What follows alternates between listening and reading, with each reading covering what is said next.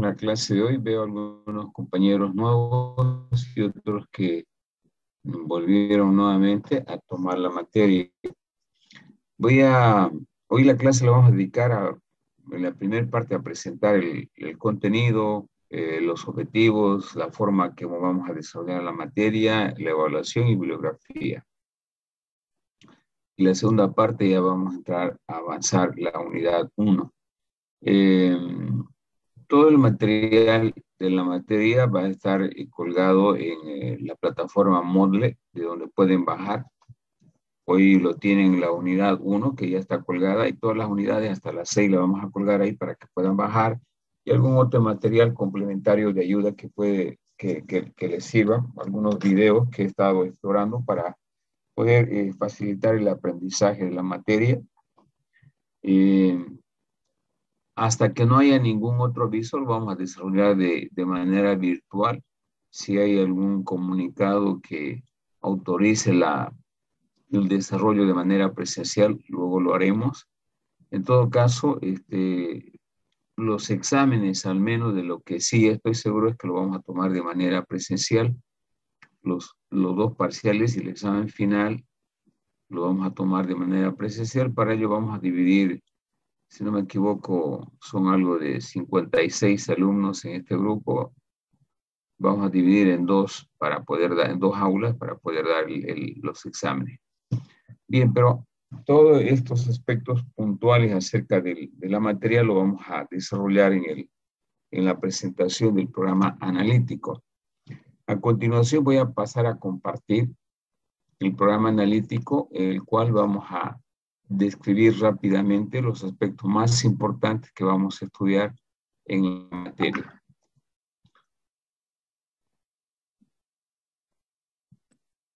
Seguramente ya están observando el programa analítico. ¿Me confirman si se ve? Se ve, se ve. Perfecto. Este programa analítico de la materia, que es válido para la carrera de sistemas y ingeniería comercial, en nuestro caso se llama Economía para la Gestión y en el caso de Ingeniería Industrial se llama eh, Economía General. Bien, em, antes de entrar a los objetivos es importante explicar, y eso siempre lo hago en las diferentes materias, cuál es la utilidad práctica eh, de, de esta materia. Es una materia de competencia genérica, es una materia que tiene alguna utilidad práctica, en realidad, este, economía es una, es una materia que no solamente cursan los estudiantes del sistema a nivel de ingeniería, sino también los, los de industrial, la ingeniería petrolera, ingeniería civil. La economía es una materia que es muy útil desde el punto de vista práctico para tomar decisiones. ¿No? Su análisis nos permite este, básicamente combinar una triada de aspectos como es la parte técnica, la parte de inversión y la parte de la rentabilidad. Y eso es lo que hace en el campo ingeniería y la economía. Me facilita el análisis, el, análisis básicamente de eh, un proyecto técnico que podría ser una aplicación desde el punto de vista de su de la de la inversión y el rendimiento de esa inversión. en consecuencia, eh, ¿dónde yo puedo aplicar como ingeniero en el sistema la economía? Al momento de que usted, si realiza algún emprendimiento o, realiza alguna actividad este, empresarial, la economía le es muy útil porque le permite tomar decisiones correctas, decisiones óptimas, tomando en cuenta que los recursos económicos que utiliza una empresa y el tiempo que, que utiliza también para desarrollar alguna aplicación son escasos para hacerla competitiva. Es decir, el, el organizar una empresa implica un manejo económico-financiero, donde se deben asignar de una manera racional los recursos escasos que son humanos, los recursos materiales, los recursos financieros, incluyendo el tiempo. De tal forma de que el uso racional y eficiente de estos factores de producción que se llama me permite ser una empresa competitiva. De la misma manera, el, desarrollo de una aplicación en términos de proyecto debe tener una fecha inicio y una fecha de conclusión. Las aplicaciones informáticas no se pueden desarrollar en el tiempo que uno puede desarrollar, si no hay tiempos estándares que permiten eh, determinar precisamente el nivel de competitividad de una aplicación y su precio fundamentalmente. No es lo mismo desarrollar una aplicación en un mes que desarrollar en 15 días. Se supone que en, un mes yo utilizo más tiempo, utilizo más horas trabajo, etcétera, y eso hace que la aplicación no sea competitiva. En consecuencia, la, la economía es una ciencia que precisamente utiliza los recursos escasos, como es el tiempo, los recursos materiales, los recursos financieros, para poder desarrollar bienes o servicios que permitan satisfacer necesidades ilimitadas. Normalmente las sociedades a donde se llevan las, aplicaciones son eh, es la sociedad o son empresas quienes utilizan eh, los productos que desarrollan, en este caso los servicios, un ingeniero en sistema, y que eh, su demanda va a depender básicamente del precio. Y el precio tiene que ver con el tiempo y los factores de producción utilizados en una aplicación. Por lo tanto, los conocimientos de economía me permiten precisamente asignar correctamente los recursos y tomar decisiones correctas buscando que una empresa sea eficiente y eficaz. Para ello se ha desarrollado este programa analítico que ustedes están observando, donde tiene dos objetivos generales. Este primero objetivo eh, de la importancia que tiene la economía y además su campo de estudio. Esto lo vamos a ver en el capítulo 1 y en el capítulo 2. Este objetivo lo vamos a lograr ah, estudiando precisamente los dos primeros capítulos. El segundo objetivo que tiene la materia es aplicar las herramientas de la economía para el análisis y el mejoramiento de la gestión empresarial. A partir de la unidad 3 vamos a estudiar nosotros la teoría de la demanda, la teoría de la oferta, el equilibrio y la elasticidad, en la que vemos herramientas, en la, perdón, más bien, en la que aplicamos herramientas de cálculo numérico para poder solucionar algunos problemas. Por ejemplo, ¿cómo puedo definir o construir o modelar la función de demanda de mi empresa que vende computadoras o vende insumos o desarrolla software? Es posible construir la función de demanda tomando en cuenta que la demanda me determina los futuros ingresos de mi empresa. Si yo conozco la función de demanda de, software de mi empresa, conozco el precio al cual vendo, fácilmente puedo determinar el ingreso total que voy a obtener, que es el producto entre el precio y la cantidad demandada. Entonces, de esa manera, alcanzamos el objetivo 2 realizando aplicaciones no solamente en el caso de la oferta y la demanda, sino en el caso de la teoría de la demanda para modelar funciones de demanda, en el caso de la producción para modelar eh, la combinación óptima de factores de producción a la hora de producir en una empresa, tanto en el corto como a largo plazo. Y finalmente, el análisis de la teoría de costos, que también nos lleva a la aplicación de cómo minimizar los costos a la hora de producir un bien o un servicio. Estos serían los dos objetivos generales de la materia. Para alcanzar estos dos objetivos generales se desarrolla este contenido. En la unidad 1 empezamos contextualizando una pequeña introducción al estudio de la economía. Precisamente aquí lo que se quiere es tener ah, un conocimiento ah, acerca de la del contexto de la economía. Para ello vamos a, por ejemplo, definir la, economía desde diferentes ángulos o desde diferentes visiones, de una visión de una economía capitalista, una visión de una economía planificada. Y estas dos comparaciones nos van a permitir definir una definición objetiva de la economía. Asimismo, en esta unidad vamos a estudiar cuál el, el objeto que tiene la economía, qué estudia, en otras palabras, la economía, cuál es su objeto de estudio. Van a ver de que, eh, como toda ciencia, la economía es una ciencia evolutiva.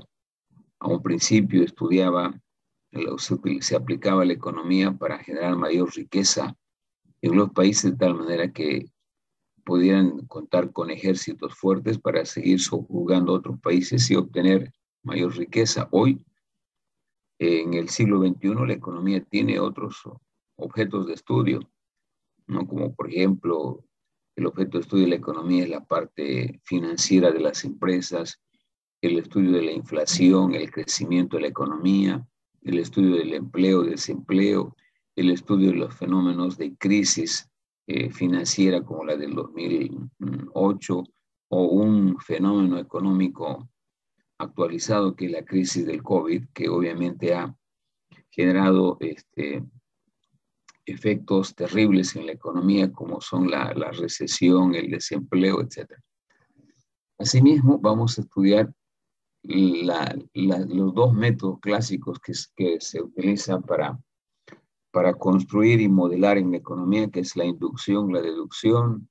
Vamos a conocer términos muy importantes que se utilizan en la economía, como por ejemplo los modelos.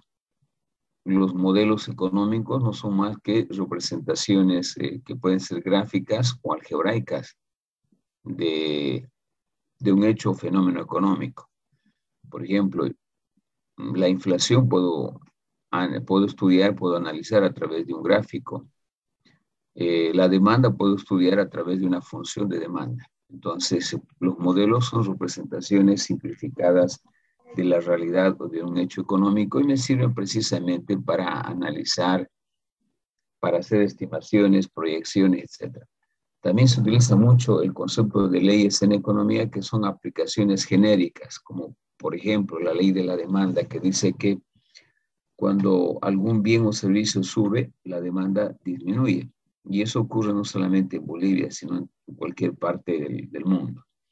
Cuando hablamos de teorías que son eh, leyes de carácter mucho más general o teorías que contemplan varias leyes al mismo tiempo. Vamos a estudiar también acá en esta unidad las relaciones de la economía con otras ciencias, como por ejemplo la relación de la economía con la informática, la relación de la economía con las matemáticas, con, eh, con la tecnología, con la lógica, con el derecho, etc. Luego vamos a también conocer cómo se divide para una mejor comprensión el estudio de la economía. Si bien nosotros eh, cuando empezamos a estudiar en esta parte introductoria la economía, la vamos a estudiar solamente como economía, pero van a ver que en el desarrollo la economía contempla dos elementos constitutivos importantes, que es la microeconomía y la macroeconomía. A esa, a esa división se le llama, por ejemplo, la teoría económica. La teoría económica me permite desagregar el estudio de la economía en micro y macro. ¿Qué vamos a estudiar acá? Esta primera parte que es introducción a la economía y microeconomía, que es aquella parte de la economía que permite el estudiar la toma de decisiones de las empresas, particularmente, y de los demandantes. Y finalmente vamos a, este, eh, describir en forma simplemente a nivel de, de conocimiento lo que implica el concepto de macroeconomía. No estudiamos nosotros macroeconomía, lo que sí estudiamos es la parte de microeconomía. Como les decía, el análisis microeconómico es una división de la economía. La microeconomía estudia el uso eficiente y eficaz precisamente de los factores de producción de una empresa, que es lo que nos interesa. Estudia la toma de decisiones de los empresarios y de los agentes económicos denominados compradores o demandantes.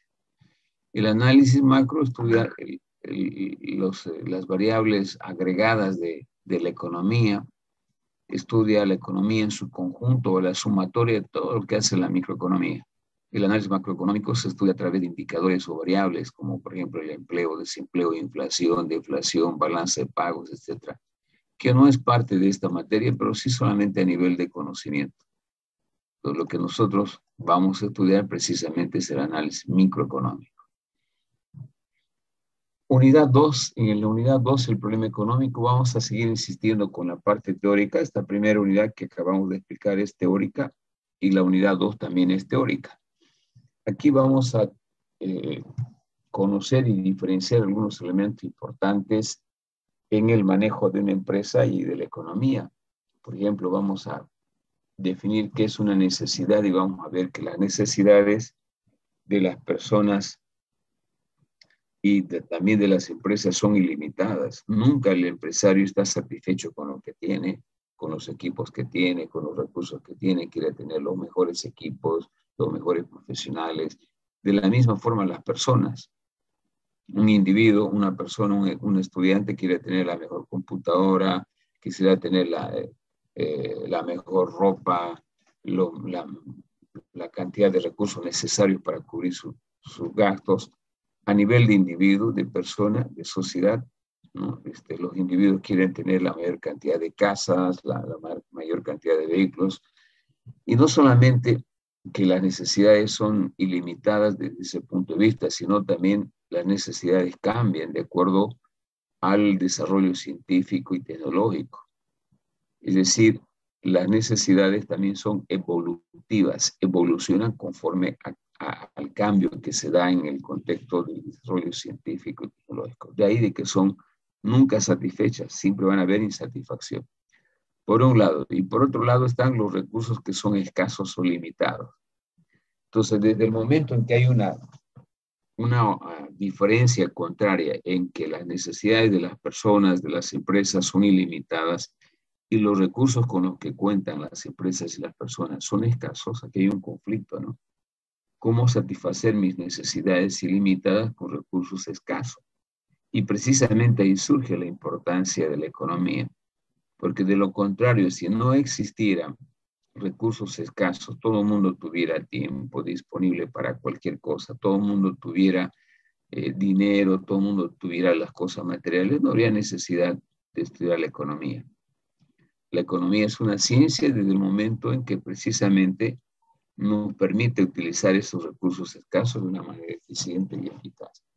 En ese ámbito vamos a definir qué, bienes se producen en la economía, qué bienes se producen en la economía para cubrir las necesidades.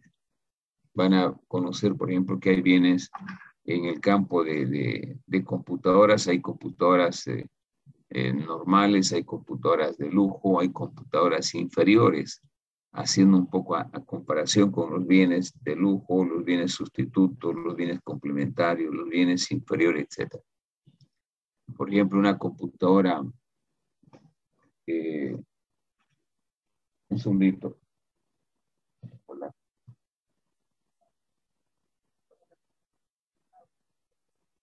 Estoy en clase, después le hablo ya. Estoy, ya, ya, ya, hasta luego. le decía de que eh, habitualmente una economía, y esto se ve también a nivel, no es algo irreal, hay bienes eh, que tienen diferente denominación. En computadoras podemos encontrar computadoras de lujo que tienen características muy particulares que son muy pocas, las computadoras normales o estándares y las, computadoras inferiores o, eh, o bienes inferiores. También hay bienes complementarios. Por ejemplo, el complemento de una computadora puede ser un mouse, puede ser una impresora, etc. Entonces vamos a precisamente conocer esa nomenclatura que existe en la clasificación de diferentes bienes para que obviamente uno haga inclusive este, eh, comparaciones eh, por un lado y por otro lado pueda analizar desde el punto de vista de toma de decisiones en el caso de algún emprendedurismo, eh, los efectos que se pueden provocar en la demanda de estos diferentes tipos de bienes. También vamos a estudiar las necesidades. Este, hace rato comentamos que normalmente las necesidades de los individuos son ilimitados. Nunca un ser humano está satisfecho, siempre aspira más, no solamente por lo que no tiene, sino también producto de los cambios, las evoluciones, las innovaciones, etc. Entonces hay necesidades, eh, por ejemplo, básicas, necesidades de seguridad, necesidades de autorrealización, y precisamente las necesidades hacen de que las empresas satisfagan, produzcan bienes para satisfacer esa necesidad. Pueden haber necesidades tangibles que son bienes, intangibles que son servicios. Una computadora, por ejemplo, es un bien tangible. Un, servicio intangible es que yo tenga internet. Sin el internet hoy una computadora obviamente tiene también sus limitaciones para su uso. Entonces van a existir diferentes tipos de necesidades y bienes con los cuales se satisface. Luego vamos a estudiar los elementos de una economía. En toda economía nosotros se, encuentran generalmente dos aspectos importantes, que son los hechos y los actos económicos. Los hechos eh, como fenómeno económico en la que participan básicamente las personas identificando cómo satisfacer sus necesidades y los actos económicos eh, antes. Los hechos económicos son la identificación de necesidades que tienen las personas y los actos son la forma como se van a satisfacer. Eh, se supone que el acto económico es un proceso de producción de un bien para satisfacer un hecho económico. También en esta parte vamos a estudiar los factores de producción clásicos. En toda economía hay factores de producción. Por ejemplo, para desarrollar software yo necesito una computadora, es un recurso material. Necesito una persona que sepa programar, es un recurso humano.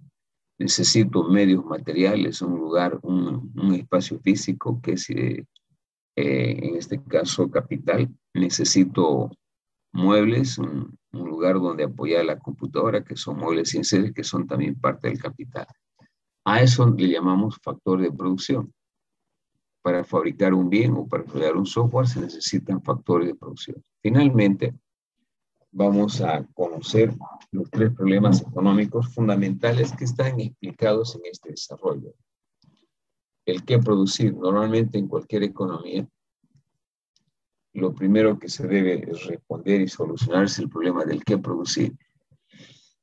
¿Y cómo se identifica qué producir? Hagan de cuenta que ustedes ya han terminado la carrera, ¿a qué dedicarse? ¿Ser empleado o, forjar una empresa? Eso le va a decir el mercado.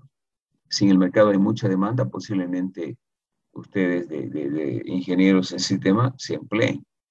Pero si no hay empleo, pero hay una demanda de, de, software, algunos intentarán hacer su empresa de desarrollo de software. Entonces, el que producir significa identificar qué actividad realizar. Y para ello, obviamente, se hace una investigación de mercado. Segundo problema de la economía, cómo producir. En el caso del ejemplo que estamos manejando, yo me, si yo me dedico a desarrollar software, ¿qué tipo de software? ¿En qué áreas? Comercial, industrial, de servicios, agrícola, minero, entonces, el, cómo producir está referido a cómo voy a desarrollar, en este caso, mi trabajo. Además, identificando las tecnologías que se van a utilizar, la combinación de insumos o factores de producción para poder producir un bien o un servicio. ¿no? Eh, en realidad viene a ser el, cómo producir también implica el know-how o conocimiento que se debe tener. Y finalmente el para quién producir se refiere a quienes se van a ver eh, satisfechos en sus necesidades con lo que se va a producir, si es un bien o si es un servicio, que podría ser el mercado interno, el mercado cruceño, el mercado boliviano, podría ser el mercado extranjero. Clara muestra de ello hay empresas que se dedican a la exportación de software como Halasoft.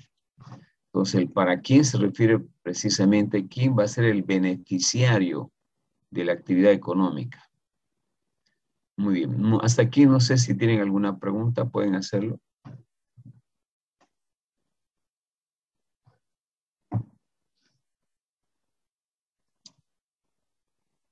Estas dos unidades, como les decía, son eminentemente teóricas.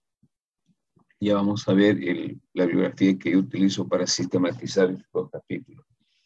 Entonces, este es, es una pequeña introducción. Estos dos capítulos se llaman Introducción a la Economía y que nos ponen en contexto para poder estudiar la microeconomía. Es importante analizar, por ejemplo, cuando hablemos en la unidad 3 de la ley de la demanda, se supone que ustedes ya saben que es una ley. Y en la unidad 3 vamos a hablar de la ley de la demanda, la ley de la oferta. Y la ley en economía, una ley hace de que, eh, eh, o más bien se refiere al hecho de que eh, del comportamiento de variables. Cuando hablamos de la ley de la demanda, significa que la demanda de un bien tiene una relación inversa con su precio. Si nosotros hacemos que la, que la demanda de computadoras depende básicamente del precio, la ley de la demanda de computadoras nos dice que existe una relación inversa entre precio y computadora. Si el precio sube de las computadoras, la demanda disminuye. Y si el precio baja de las computadoras, la demanda aumenta. A eso se le llama ley. Cuando ese fenómeno se cumple en Bolivia, en otro país o en el mundo entero, se llama ley. Y precisamente eso ocurre en la realidad. Cuando sube el precio de cualquier bien, eh, inmediatamente la reacción es la disminución de la demanda. Ahora, esa disminución de la demanda no es que la gente no quiere comprar. Cuando suben las computadoras, la gente dice, no, una determinada marca de computadora dice, no, no voy a comprar, sino busca un producto sustituto que podría ser otra marca. Entonces, es un funcionamiento clásico por ejemplo, de, la economía basada en, una, en, la ley de la demanda, en la ley de la oferta, etc. Bien, ahora veamos la unidad, las otras unidades donde ustedes van a encontrar eh, ya eh, acciones concretas de la aplicación matemática. Hasta aquí es cero matemática. Unidad 1 y unidad 2, cero matemática. A partir de la unidad 2 sí ya vamos a ver una parte teórica y matemática. Por ejemplo, vamos a estudiar la formación de los precios, el funcionamiento de un mercado de hardware de software en la vida real opera en base a un mercado y precio. Las empresas que desarrollan software se llaman ofertantes y las empresas y las, las personas o empresas que compran software se llaman demandantes.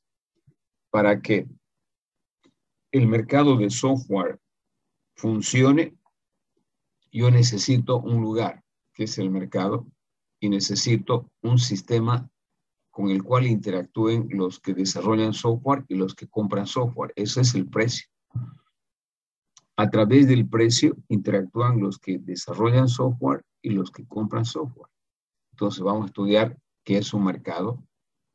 Por ejemplo, eh, un mercado es un mecanismo, es un espacio es un lugar geográfico o también se puede decir que el mercado es un medio virtual en el cual participan los compradores y los vendedores a través de un sistema de precio. Vamos a estudiar diferentes tipos de mercado. Cuando hay una sola empresa que vende o fabrica computadoras, se llama mercado monopolista. Cuando hay varias empresas varias, cuando digo varias, entre, entre dos y cinco empresas se llama mercado oligopolista. Y cuando hay muchas, muchos vendedores y compradores se llama mercado de competencia. Entonces vamos a ver precisamente el concepto de mercado y luego vamos a ver de tipos de mercado. Bien. Luego, una vez que definamos y conozcamos de alguna forma objetiva qué es un mercado y qué son los precios, vamos a estudiar como las acciones y las reacciones de los demandantes y de los ofertantes. Se entiende por demanda aquella persona o empresa que compra hardware o software. Entonces vamos a definir qué es demanda. Vamos a ver cómo se representa una función de demanda y cómo se construye. Cuando digo función de demanda, me estoy refiriendo básicamente a una ecuación. una ecuación que me muestre, por ejemplo, voy a intentar escribir solamente para que vean cantidad demandada de, de un bien eh, igual a 100 mm, menos dos veces el precio de X. Si ustedes se fijan, una función va a ser para nosotros una ecuación. Una ecuación que me está mostrando que podría representar la demanda de software. Inicialmente la función de demanda de cualquier bien está compuesto por una variable dependiente, que es la cantidad demandada, y una variable independiente, que es el precio. Entonces, la demanda de software o de computador va a depender del precio. Pero entre medio, entre medio hay otras variables que también influyen. Si bien la que más se ve es el precio, influye el ingreso del consumidor, influyen los gustos del consumidor, influyen el precio de los bienes sustitutos, influye el precio de los bienes complementarios, influye el, número, el, número de, eh, de, demandantes existentes, el número de demandantes,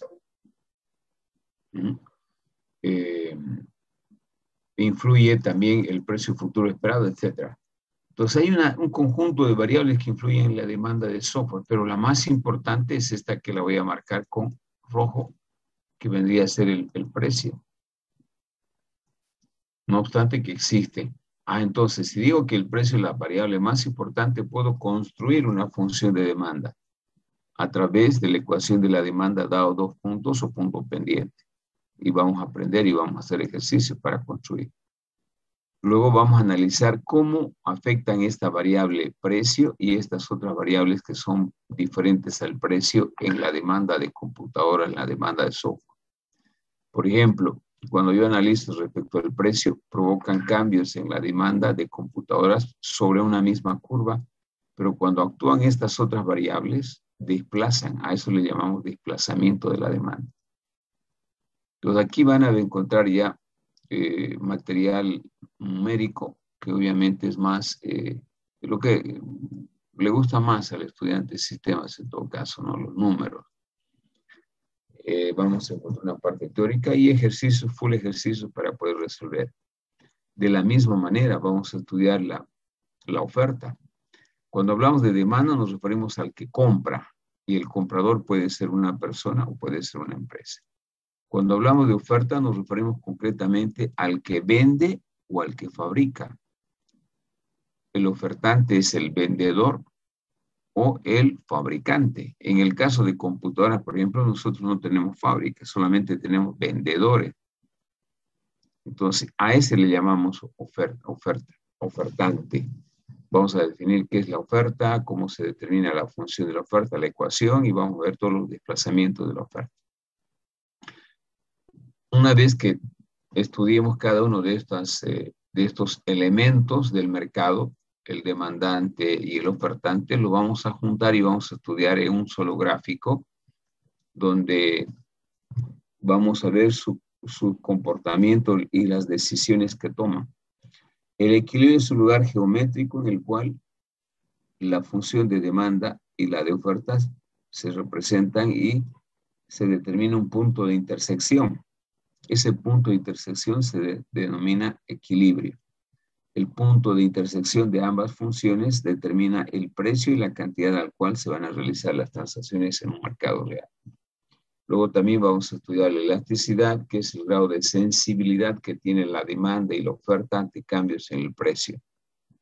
Dentro de la elasticidad vamos a estudiar diferentes tipos de elasticidad que están listadas acá.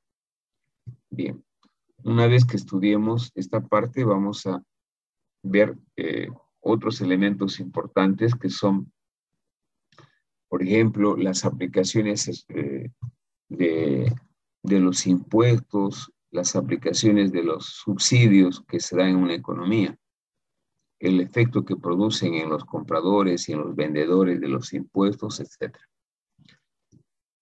Luego vamos a entrar a la unidad 4, que es la teoría del comportamiento del consumidor. Aquí vamos a estudiar básicamente cómo se construyen, en este caso, las funciones de demanda del consumidor a través de modelos. Uno, de los modelos o enfoques también se llama, que en este caso es el enfoque eh, cardinal que habla de cantidad. En el enfoque cardinal vamos a estudiar la teoría de la utilidad total y marginal, el equilibrio del consumidor. Luego vamos a estudiar otro enfoque que es la teoría, el enfoque moderno de la teoría de la utilidad o también denominado las curvas de indiferencia. Es decir, vamos a estudiar en la teoría de la demanda del consumidor, pero con otro enfoque en la cual vamos a ver eh, también este, una serie de herramientas que nos permitan analizar cómo eh, se comporta el consumidor frente a diferentes variables. Y en las aplicaciones vamos a ver básicamente ejercicios que nos muestran los cambios en el ingreso del consumidor, ¿no? tomando en cuenta que hace rato veíamos aquí que la demanda de un bien depende del ingreso, de los gustos del consumidor, que es G, el precio de los bienes sustitutos, el precio de los bienes complementarios, etc. Vamos a estudiar precisamente aquí cuál es el efecto que provoca en la demanda de un bien, los cambios en el ingreso del consumidor, ¿no? o los cambios en los precios simplemente. Luego que agotemos el estudio del consumidor, vamos a entrar a estudiar el, al, al, ofertante, al productor, pero desde el punto de vista de la, de la producción. Aquí el objetivo central del consumidor es cómo minimizo mi gasto o cómo maximizo mi utilidad. La maximización de, de la utilidad se estudia a partir de estos dos enfoques, del 4.1 y del 4.2. Y en el caso de la empresa también se estudia algo parecido. Cuando yo organizo mi empresa para desarrollar software o para fabricar algún insumo informático, tengo que maximizar mi utilidad. El objetivo de cualquier empresario es cómo yo puedo obtener el máximo nivel de beneficio utilidad. Para ello tengo que saber tomar decisiones correctas de producción y eso es lo que vamos a aprender aquí. Vamos a estudiar precisamente la teoría de la producción basado fundamentalmente en un periodo de corto y largo plazo. En la función de corto plazo vamos a aprender a cómo una empresa cuando tiene restricciones de eh, de algunos factores de producción como tecnología, equipamiento, infraestructura, cómo puede aumentar sus niveles de producción para poder maximizar su beneficio. Ese es un escenario. Y el otro escenario es la función de producción a largo plazo, que consiste en cambiar factores de producción e incrementar los niveles de producción para que la empresa pueda obtener mayores beneficios. Entonces aquí vamos a estudiar la toma de decisiones del empresario, del productor. Finalmente, la unidad 6 tiene que ver con la teoría de los costos. Para cualquier actividad productiva, chicos, de desarrollar software o de fabricar computadoras, se incurren en costos. ¿Por qué aparecen los costos? Porque las empresas utilizan recursos humanos, recursos materiales, recursos financieros. Ejemplo, una empresa que desarrolla software necesita equipos necesita infraestructura, necesita equipo, necesita muebles, necesita capital de operación. ¿De dónde lo obtiene? Puede ser recursos propios o recursos de apalancamiento financiero, préstamo. Entonces, esos recursos, para que me generen utilidad, debo utilizarlos de tal forma que minimice mis costos para maximizar mi beneficio. Y el objetivo de esta unidad es esa, cómo se pueden minimizar los costos para maximizar el beneficio, tanto en el corto como en el largo plazo. Eso es lo que se estudia acá, de tal manera que ustedes obviamente tengan conocimiento real desde el plano teórico y práctico, eh, la minimización de costos. En, en todo este análisis de estas unidades prácticas se utiliza mucho el álgebra, se utiliza este, eh, derivadas Michis, cuando hablamos de producto marginal, costo marginal, hablamos de derivadas de primer orden. Cuando hablamos de elasticidad, también la elasticidad, al ser el, el grado de sensibilidad de la cantidad demandada, también se puede explicar a través de las derivadas. ¿Sí? Entonces es algo básico que ustedes conocen y dominan esa parte. ¿Cómo vamos a realizar la materia? ¿Cómo la vamos a desarrollar? Básicamente a través de, este medio virtual. Primero, en, cada capítulo yo presento la parte teórica y conceptual y la parte práctica la desarrollo en pizarra. Estas primeras clases, yo creo que esta semana y la otra la vamos a desarrollar así estrictamente a través de, este medio virtual. Y a las próximas clases van a ser utilizando la pizarra donde, eh, donde ya entremos a, la unidad 3 y encontremos ejercicios, obviamente ahí vamos a utilizar la pizarra. Eh, durante el desarrollo de las clases teóricas o prácticas, ustedes pueden preguntar ¿no? Este, activan su micrófono y preguntan algo que no se ha entendido o alguna sugerencia o alguna idea o algo que no esté claro. Entonces, por eso dice aquí, exposiciones del profesor con apoyo del multimedia, básicamente por lo que es la clase virtual y la pizarra, preguntas y respuestas tanto del profesor como del estudiante ante alguna curiosidad, alguna inquietud o algo que no esté claro. Y ejercicios. No hay trabajos en grupo en esta materia Sí, hay, pero hay prácticos que lo vamos a hacer desde la próxima clase. ¿Cómo vamos a evaluar? Las evaluaciones clásicas, dos parciales y un examen final. El primer parcial vamos a darle tres unidades. Usted se fija, este primer parcial comprende la unidad 1, 2 y 3. Es decir, esta unidad, por las características que tiene, la unidad 1 y 2 son teóricas, y la unidad 3 es práctica. Normalmente el examen consiste eh, en un examen teórico, eh, en dos exámenes, ¿no? uno teórico y uno práctico. Hasta durante la pandemia hemos desarrollado a través de el examen teórico, a través de formularios Google, ¿no? Eh, a través de básicamente de preguntas de elección múltiple o de falso verdadero. Y otro segundo examen práctico donde se envía el examen y el estudiante manda las imágenes de cada pregunta que se haga. Hoy, como vamos a hacer la clase virtual, perdón, la clase presencial para los exámenes, vamos a combinar eh, el examen teórico con el práctico. Eso vale 20 puntos. El segundo parcial también es por 20 puntos pero solamente de dos unidades, la unidad 4 y 5. Finalmente, la unidad, el, tercer examen es el examen final por 40 puntos, que comprende el 50% de la unidad 6 y el 50% de las anteriores unidades. Eh, en todos los capítulos hay prácticos, la sumatoria de todos los prácticos valen 20 puntos particularmente para dar cada examen hay un cuestionario de preguntas, de, preguntas teóricas y prácticas para preparar para el examen. Eso vale 20% y sumado todo esto representa el 100%. Bien, en la evaluación es importante este, mencionar de que se hace una evaluación continua. La primera no la estamos realizando. La evaluación diagnóstica que habitualmente se hace el primer día de clase con, para ver el, el, dominio básicamente de, algunos, eh, de algunas herramientas matemáticas, no lo vamos a hacer.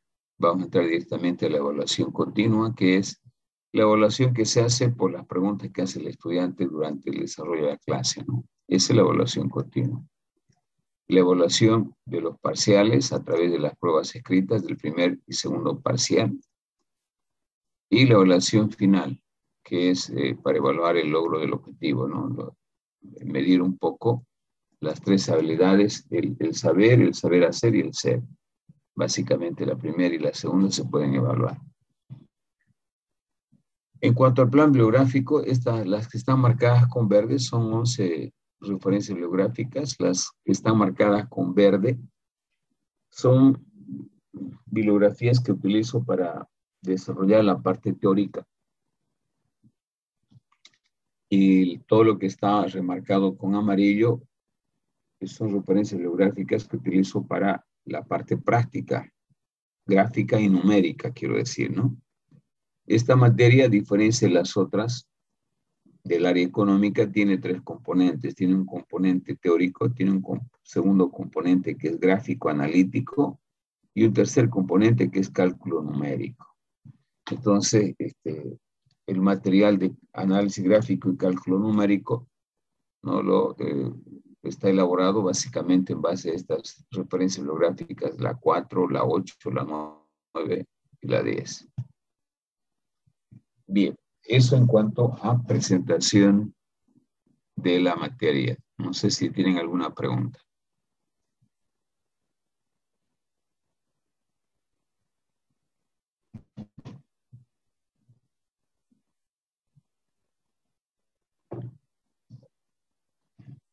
¿Hay alguna pregunta? ¿Alguna duda?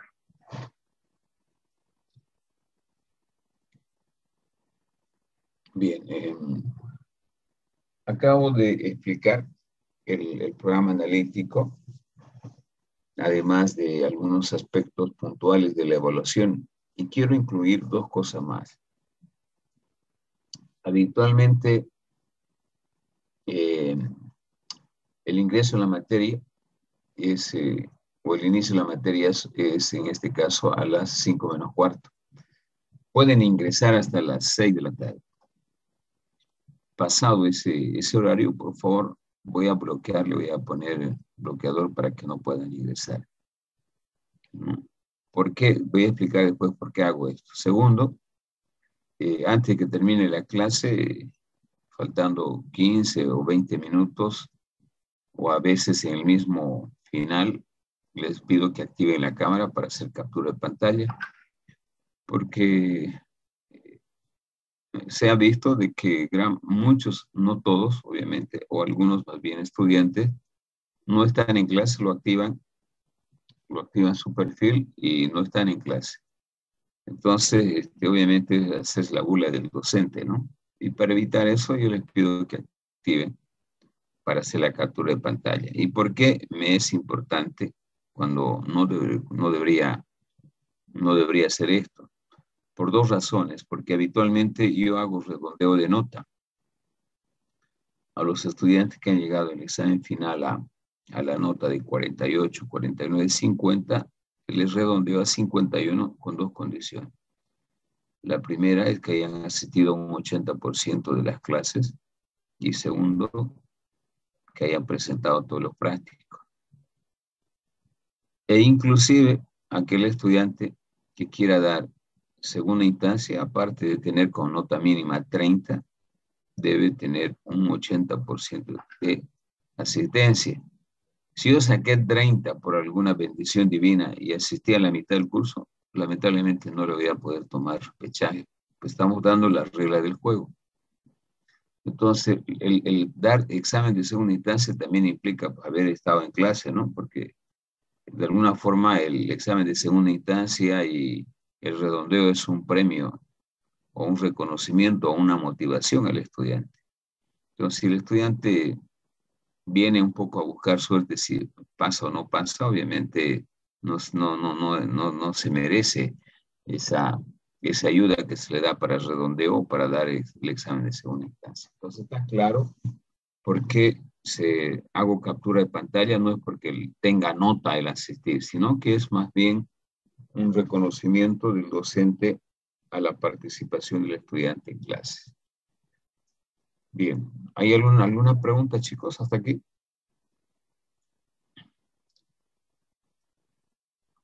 Ninguna. Todo claro, ingeniero. Bien, vamos a... Perfecto. Vamos a, a continuar. Me espera un minutingo.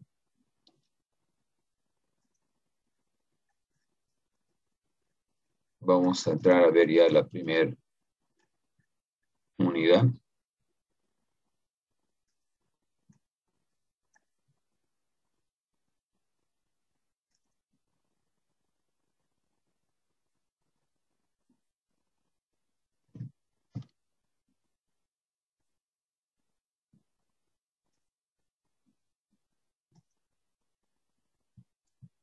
Bien, entonces, eh, una vez que hemos presentado el, el programa analítico, voy a entrar directamente a ver la primera unidad. Para ello voy a compartir pantalla. Seguramente están viendo la presentación. Bien. Antes de entrar a ver la parte teórica que está vaciada acá, vamos a darle una interpretación a estas dos imágenes. Primero, eh, a, la, imagen, como podrán ver en la parte de la izquierda, la economía, el, manejo económico implica tomar decisiones y las decisiones se toman en base a, a gráficos, como está aquí en la imagen, a, cálculo numérico, a, resultados numéricos a través de eh, interacciones que se realizan y no es como que equivocadamente se tiene que economía es teoría. Tiene teoría, ¿no? Pero gran parte de su análisis es gráfico, como pueden ver aquí, y numérico, a través de la aplicación de la álgebra, de integrales, de derivadas, etcétera, que, que son importantes a la hora de, de tomar decisiones, incluyendo la investigación de operaciones que ustedes también llevan, ¿no?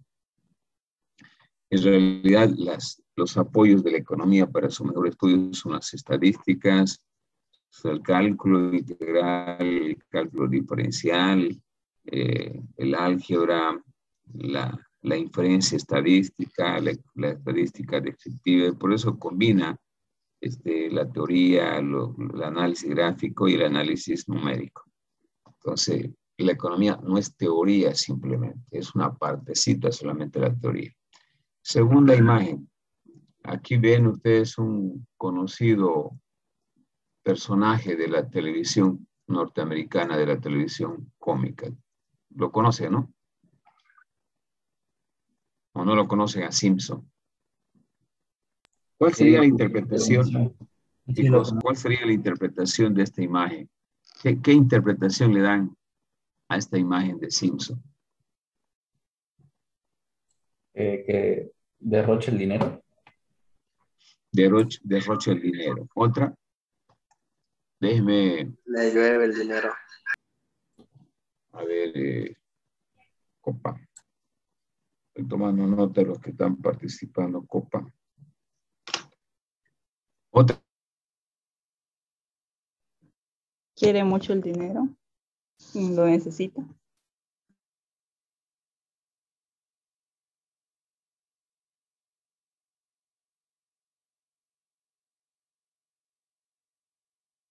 Estamos eh, entrando a la, a la unidad 1 y para ello estamos haciendo una clase motivacional, una introducción motivacional. De eso se tratan los dibujitos.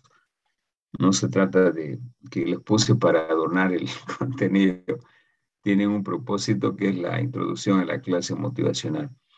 Bien, em, eh, decíamos, los compañeros decían de que eh, representaba esa imagen la lluvia de dinero, derroche de dinero cuando ustedes eh, escuchan la palabra economía, ¿con qué asocian o qué se imaginan? Sin haber escuchado lo que ya vimos en el programa analítico. ¿Alguna vez si escucharon economía, qué se les viene a la cabeza? Marañón. Manejo de dinero. Manejo de dinero, Marañón. Otra idea.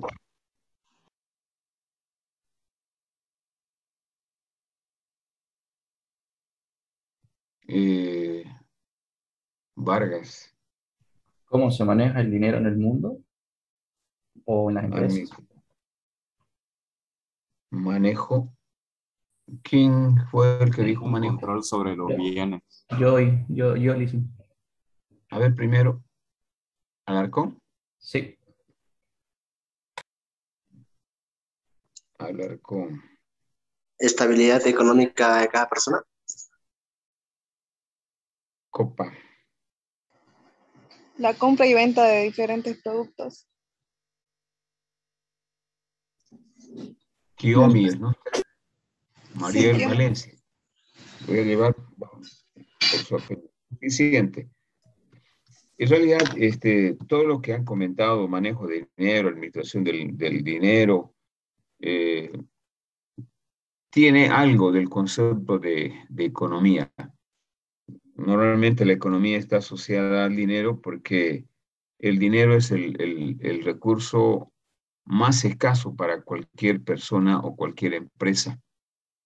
Cuando hablamos de, de, factores de producción, chicos, por ejemplo, una empresa que desarrolla software utiliza factores de producción. ¿Cuáles son los factores de producción más importantes?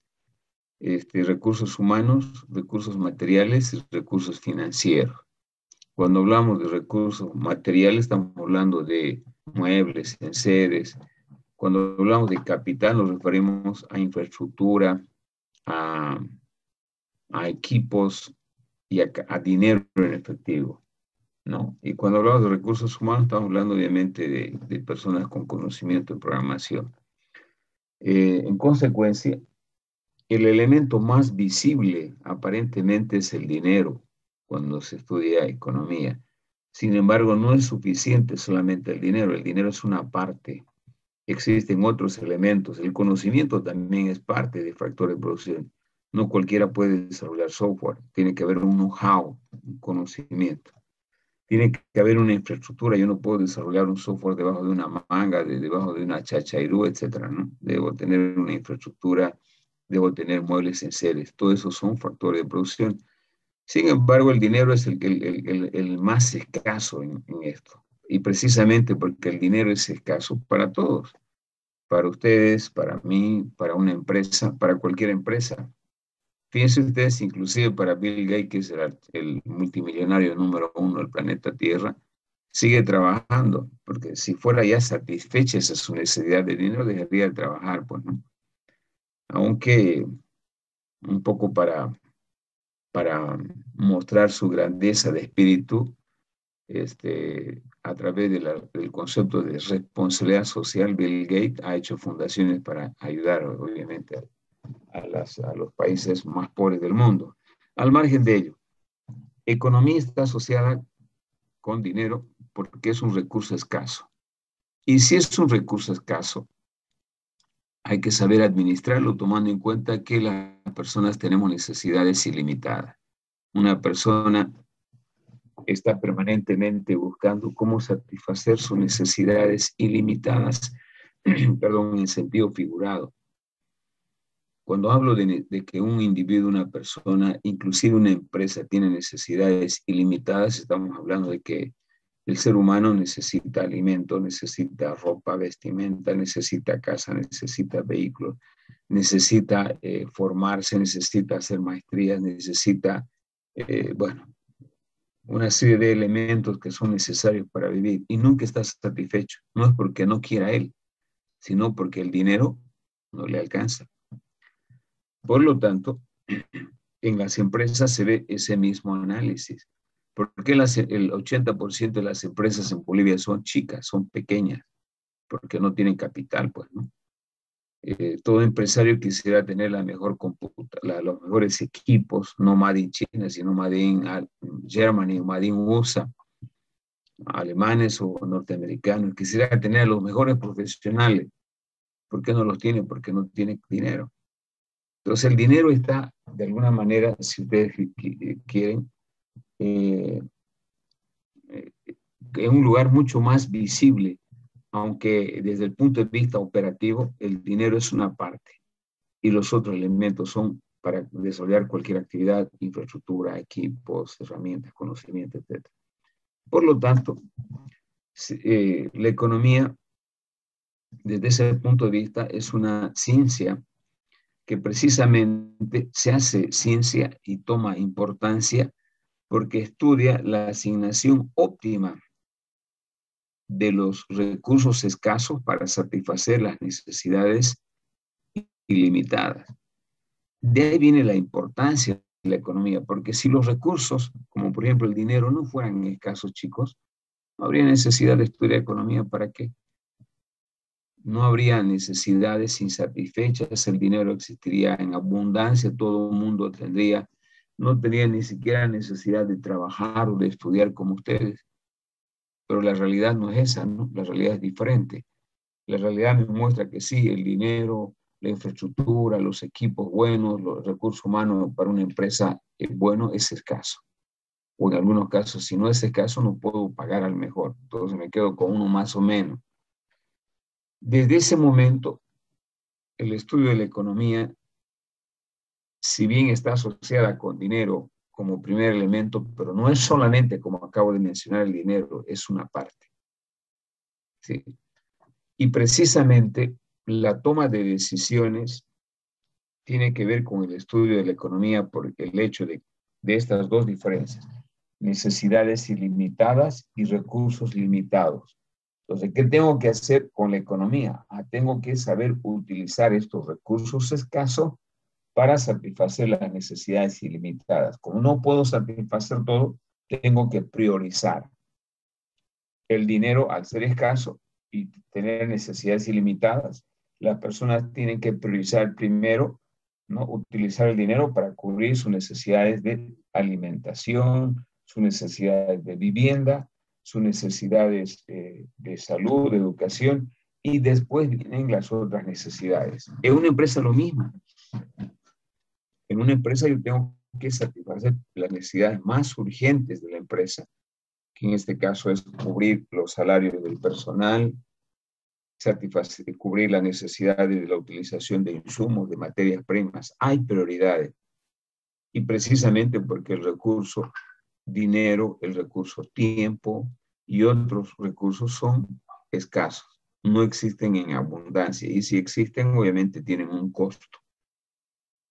De ahí aparece la importancia que tiene la economía para poder eh, ser una herramienta que le permite tomar decisiones correctas, no solamente al consumidor, a una persona, sino también a una empresa.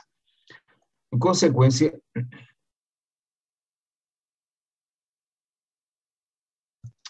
voy a, voy a compartir pantalla para volver a la, a la imagen que les estaba mostrando.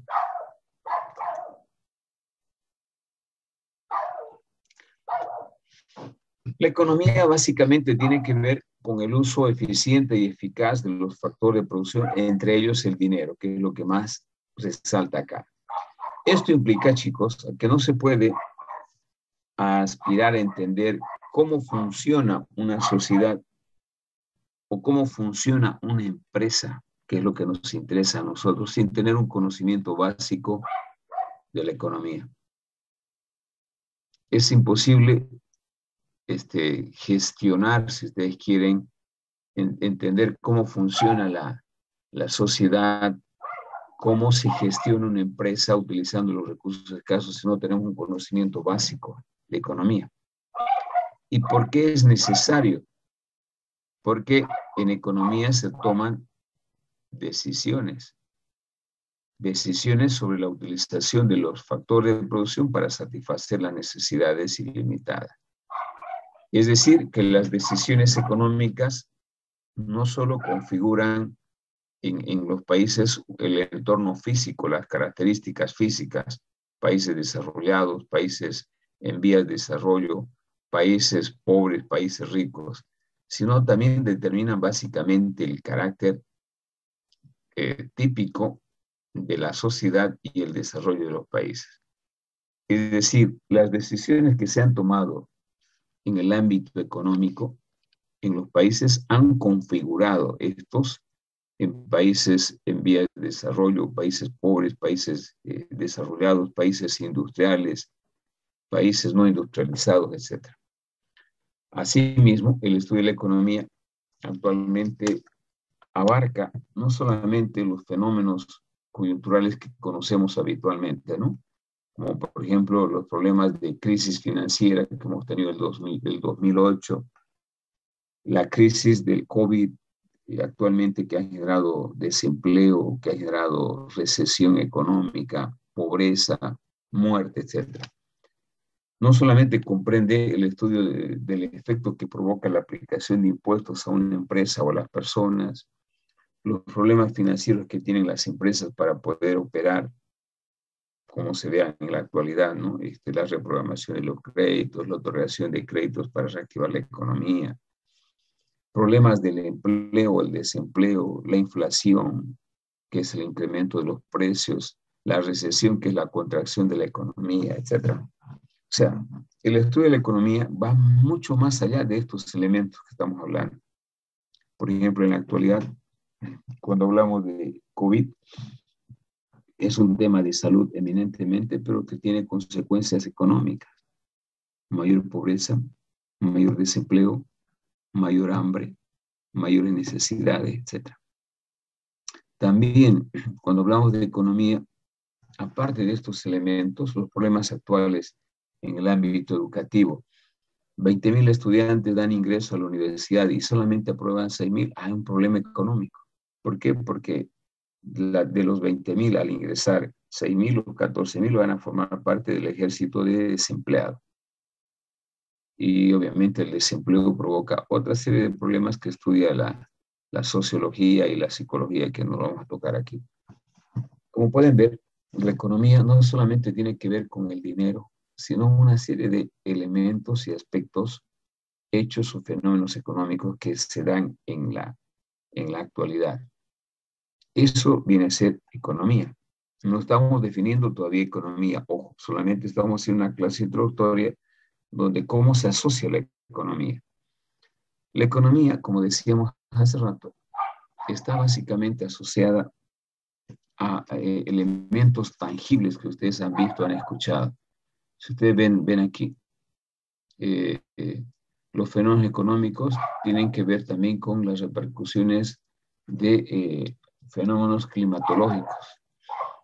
los cambios, básicamente la contaminación ambiental, los cambios en, la, en el medio ambiente, los fenómenos de devaluación que están relacionados con el efecto, el, el, efecto en el, en el valor del dinero, los efectos de la crisis en todo, en todo sentido, crisis social, política, económica, etcétera, los problemas de inflación que son el empobrecimiento de la gente, el incremento de los precios, o los problemas de desempleo. Todo esto comprende básicamente el estudio de la economía, como vamos a ver también en más detalle más adelante. De tal forma que el propósito fundamental de la economía es hacer que los países, fíjense lo que dice acá, las empresas y las personas en ese análisis deductivo utilicen los recursos de una manera racional. Los países sepan utilizar todos los recursos que obtienen, producto de su actividad productiva, de la misma forma las empresas y las personas, de una manera racional, de tal forma que mejore la calidad de vida de las sociedades, de los empresarios o de las personas individualmente. Ahora bien, la dificultad y a la vez lo interesante de la economía reside en que en que su materia prima, queridos alumnos, lo constituimos las personas. Y precisamente las personas son las que toman decisiones, no son los robots, no son las máquinas. Las personas, los individuos somos los que tomamos decisiones y somos el insumo de la economía, ya que lo que precisamente eh, estudia la economía es el comportamiento de los agentes económicos, empresas o personas, con sus deseos, con sus decisiones, con sus ambiciones, gustos, necesidades, preferencias, inquietudes, motivaciones, etc. Es decir, la materia prima de estudio de la economía es el individuo, pero eh, dentro del individuo se toma, eh, se estudia básicamente su toma de decisiones. Y la toma de decisiones se hace en base a modelos gráficos y a modelos matemáticos. Entonces, el aporte de la matemática a la toma de decisiones en la economía es muy importante. De lo contrario, sería una, una, una materia eminentemente teórica y que no lo es, como van a ver más adelante. Eso un poco para crearles una, una, introducción motivacional de qué comprende la economía en, en, términos generales, en términos grandes, ¿no? En términos específicos ya vamos a empezar a partir de la próxima clase. ¿Alguna pregunta que tengan hasta aquí?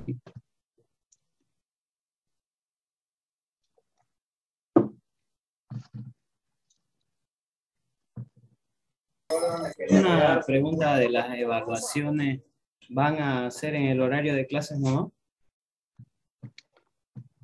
Sí, todos los exámenes vamos a darlos respetando los horarios de clase. Claro, si vamos a dar los exámenes eh, presenciales, eh, la idea es no agruparnos mucho, ¿no? Actualmente estamos 45 en esta clase. Son sesenta y tantos inscritos. ¿No? Este, han entrado solamente 45. Vamos a, por ejemplo, dividir en, dos grupos de 30. En un aula de, de 70, 80 personas, vamos a dividir, eh, vamos a dar 35 eh, personas. ¿Alguna otra pregunta? Licenciado, yo tengo una pregunta. Cuando mencionaba el estudio de la economía, tenía una duda si la economía abarca desde la extracción de un producto, está presente desde ese momento. Buena pregunta, Ivana. A ver, eh, la economía en realidad se aplica a los diferentes, eh, a los diferentes sectores de la economía.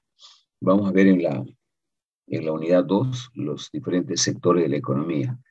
Los, eh, los sectores clásicos son las actividades extractivas, ¿no? o las actividades extractivas, las actividades transformativas o industriales o manufactureras, las actividades comerciales y las actividades de servicio. La economía se aplica en todas, en todas las actividades económicas. Por ejemplo, supóngase una empresa minera, una empresa petrolera, son actividades extractivas, de extracción. ¿no? Para, para habilitar un, para, para poder eh, explotar el petróleo, primero tengo que hacer exploración. Tengo que explorar. Luego que de explorar identifico el pozo petrolero, tengo que explotar. Luego tengo que transformar el petróleo en los derivados que se tiene. En todo esos procesos de la economía. ¿Por qué? Porque, este, a ver, para, para explorar yo no puedo, hay un límite, hay un tope en, el ámbito de funcionamiento real. Yo no puedo utilizar, si el promedio de exploración de un pozo petrolero es 100 millones, no puedo utilizar 500. Sería irracional. Entonces, el uso de los recursos, en este caso del dinero, del tiempo, deben estar marcados dentro de una racionalidad está presente. En una empresa minera de la misma forma, dependiendo de la actividad, si la exploración es a flor de tierra o es a través de socavones, también la economía se aplica de una forma diferente, porque las decisiones también van a ser diferentes. En una actividad agrícola o forestal de explotación maderera también, ¿no? la producción industrial también de una forma particular de aplicación de la economía, la actividad de servicios, la actividad de servicios de cooperativa, CRECOTAS, también son parte del manejo económico. O sea, no hay ninguna actividad de los diferentes sectores que tenga una economía donde no pueda aplicarse la economía. Entonces, su aplicación es genérica. Bajo ese lema, bajo ese principio, ¿no? De que la economía es una ciencia que estudia cómo la sociedad utiliza los factores de producción para satisfacer las necesidades ilimitadas produciendo bienes y servicios. Esa definición la vamos a ver la próxima clase. Ya estamos entrando a una definición específica de economía. La economía es una ciencia que estudia ¿no? cómo la, la sociedad debe utilizar los factores de producción de una manera eficiente y eficaz para producir bienes y servicios que satisfagan las necesidades ilimitadas. Eso ya es una definición explícita de economía. Y como le dije, este, su aplicación no tiene un límite. Le decía que solamente, no solamente se aplica en el ámbito básicamente de, de, producción misma, sino también en, en el servicio. ¿Cómo yo determino el precio de un software para poder vender? Este, tomando en cuenta básicamente la utilización de los diferentes factores de producción, qué tiempo utilicé, cuántas horas de, de, trabajo se utilizó, cuánta cantidad de insumos, este, la cantidad de recursos humanos que utilicé en la, en la elaboración de una aplicación, eso me determina un costo referencial. Ese costo a su vez me va a determinar un precio de venta del producto. Y si yo no hago un uso racional del tiempo y la cantidad de personas que han desarrollado la aplicación, mi precio no va a ser competitivo, porque puedo encontrar software parecidos a precios menores. Entonces, para minimizar costos y que vaya a, maximizar la utilidad de, de, una empresa que desarrolla software, obviamente la economía es una herramienta que se utiliza. Entonces, no hay un límite en la aplicación básicamente de la economía. Se aplica en los diferentes ámbitos donde precisamente se utilizan recursos escasos. Como habíamos dicho ya en la, en la figura inicial, un recurso escaso es el dinero, pero no son todos los recursos escasos. Hay recursos humanos escasos, altamente calificados. Hay el, tiempo es escaso. Por ejemplo, este, usted no puede comprar tiempo, ¿no? Usted como, como estudiante, si no sale en los cinco años, se puede, puede tener un adjetivo que le pueden decir dino, dinosaurio. Pero para que no sea dinosaurio no se puede, no puede recuperar el tiempo, no puedo prestarme, no puedo alquilarme, no puedo comprar, etcétera, etcétera. O sea, son eh, situaciones donde pasa el tiempo y bueno, la recuperación es humanamente imposible. Y eso en términos de producción incrementa sus costos. Cuanto más tiempo tarde en producir o desarrollar algo, su costo es mayor. Y hoy estamos en un mundo altamente competitivo, turbulento, dinámico, globalizado. Producto que tenga un alto costo no se vende. Servicio o aplicación de desarrollada a un alto costo, imposible de vender. ¿no? Porque hoy el, el, consumidor, la empresa, el cliente, la persona puede encontrar productos a bajo costo, no solamente aquí en nuestro país, sino en cualquier país a través de la utilización de las tecnologías de la información y comunicación. Bien, no sé si respondí su pregunta, querida alumna. Sí, lo respondí, muchas gracias. Perfecto. Activen su cámara para hacer la primera captura de clase, por favor.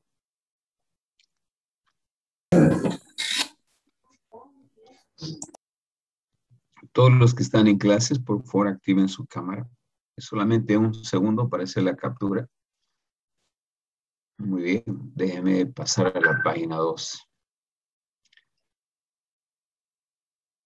Bien, yo voy a suponer que todos los que no activan su cámara no están en clase. Aunque estén en el celular, pueden activar en, un, unos, minutos. Bien, chicos, eso es todo por hoy. Nos vemos en la próxima clase el día miércoles. Que tengan buenas tardes. Hasta